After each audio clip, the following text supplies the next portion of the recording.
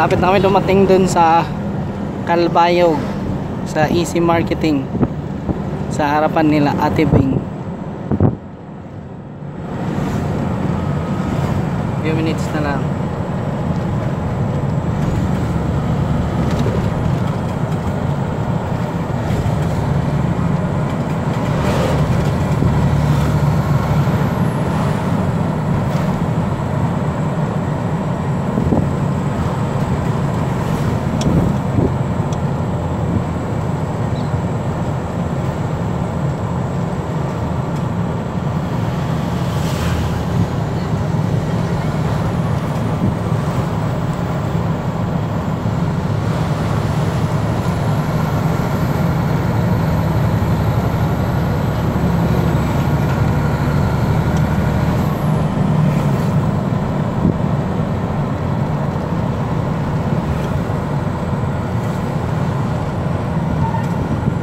To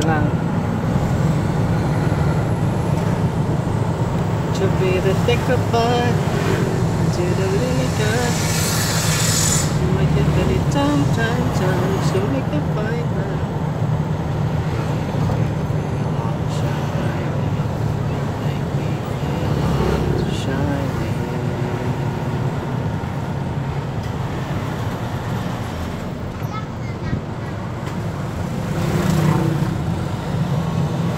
Sakto nga alas 5. Habol tayo, alas 5.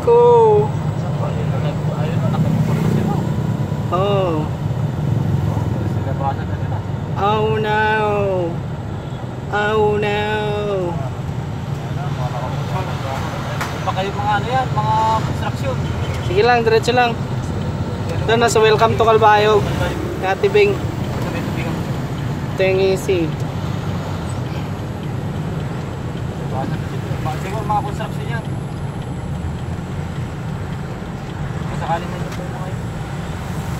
Nandito na kami sa bahay ni Ate Bing.